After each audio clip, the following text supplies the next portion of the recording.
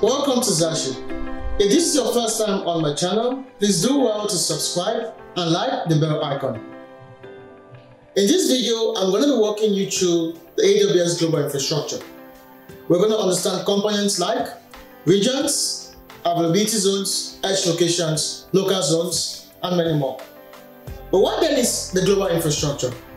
The AWS Global Infrastructure simply seeks to explain how AWS has its data centers around the world. So the first thing I want us to talk about is a region. A region in AWS is just a physical location or a geographical location of AWS's infrastructure or data centers. So in every region, you are actually going to find data centers. That's pretty much what a region is. AWS is actually the cloud provider that has the highest number of regions. AWS has over about 30 regions spanning across different countries and across different continents. In every region, you're going to find data centers. These data centers are actually grouped into logical segments known as availability zones. But what is an availability zone? An availability zone is nothing but something which is logical. It's just a logical grouping of two or more data centers that are discrete in power and redundant in networking. So what AWS has actually done is that in every region, you're going to find two or more availability zones. These availability zones are pretty much just a logical concept. And the reason why AWS brought in the concept of availability zones is just to ensure that there is that high availability, redundancy, fault tolerance in its regions. But in every availability zone, you're going to find two or more data centers. Okay? That's pretty much what an availability zone is talking about. Each availability zone is at least 50 miles from the other availability zone. That's pretty much one thing you should understand. Remember, an availability zone is just a logical concept. The most important thing you should understand is that in a region, you pretty much have data centers, and these data centers are actually logically grouped to each other to form an availability zone. In every region, you're going to have two or more availability zones, and each availability zone in a region is going to have two or more data centers. Remember AWS regions you are actually found in different parts of the world. It's always advisable that customers make use of regions that are actually closest to their customers.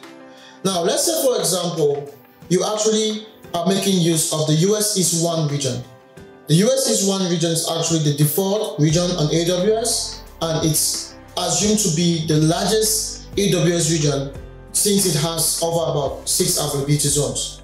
Now let's say for example, you are a customer making use of the US East 1 region and let's say you hosted an AWS um, resource on a service called EC2. Now, let's say you actually have an application hosted on a server on EC2 and that application is being used by people in different parts of the world. Let's say you actually have people in India, you have people in Australia, you have people in Africa, and you have people in Europe. Let's say you also have people around America making use of the application. Definitely because um, the region is actually in America, that's around the Maryland, Virginia area. People who actually find themselves around this area are going to easily access that application. But now ask yourself, what happens to those who are in different parts of the world trying to access that application? That is pretty much where the concept of edge locations actually comes in. When we talk about an edge location, we're simply talking about small infrastructures that are spread around the world and these infrastructures are pretty much used for caching data. This data could actually be um, static data or dynamic data. So what you could actually do with your application is you can actually have your application content cached on different edge locations. So your application content could actually be cached on different edge locations. And pretty much what actually happens is that when users from India or from Australia are actually trying to access the application, their traffic or their requests actually get routed to the edge location that is closest to them. And when that actually happens, these users are going to experience low latency while trying to access the application. Edge locations are very important because they help customers have their data cached on edge locations and anytime data is cached in an edge location, it, it is going to have a time to live.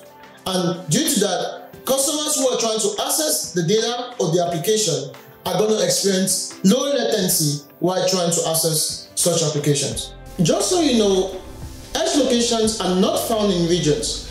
They are pretty much small infrastructures which are found around regions and they are spread around the world for caching data for customers. One other thing I would like you guys to understand is the concept of local zones. We all know that the aspect of AWS is focused around building services. And these services could be compute services, these services could actually be storage services, these services could be database services and all of that. There are some parts of the world where we do not have AWS regions um, located in those areas. So pretty much with the concept of local zones, what AWS has done is that AWS actually has its services brought close to a local population so that customers who are trying to make use of those services could actually experience low latency while trying to access those services. Remember the concept of edge locations is focused around caching customer data so that users who are trying to access the data can experience low latency. When we talk about local zones, local zones pretty much brings AWS services close to customers. These are customers that are actually found in large cities where we do not have AWS regions or data centers around those areas.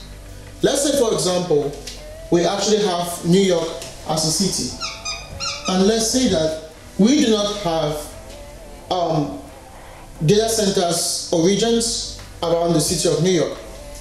Now, what AWS has done is that AWS has developed local zones in such a way that you can actually have compute services or database services actually made available and made very close to the population of New York.